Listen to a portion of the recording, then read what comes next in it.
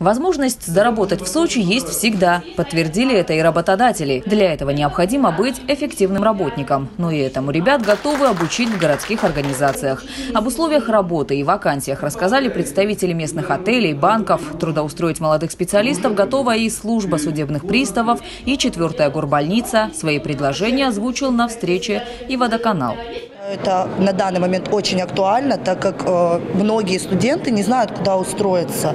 А сейчас это мероприятие дает огромные возможности для наших всех студентов города найти себе какой-то заработок. Может быть, они увидят себя в этой сфере и в дальнейшем вообще отучатся на какие-то высшие, высших э, учреждениях, на такие профессии, на которые им сегодня предложат. Важно, чтобы молодые специалисты имели возможность построить карьеру именно в родном городе. Работодателям рекомендуют предложения о вакансиях в первую очередь озвучивать выпускникам сочинских вузов. Для этого необходимо чаще встречаться.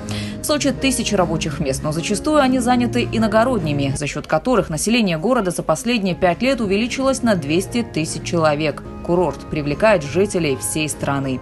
В Сочи создан Центр трудоустройства молодежи «Цитрус». Он совершенно бесплатно помогает студентам и школьникам найти свою первую работу. База данных, благодаря соглашениям с городскими предприятиями, постоянно пополняется новыми вакансиями. Организация решает сразу две задачи – трудоустраивает молодежь и обеспечивает бизнес перспективными кадрами.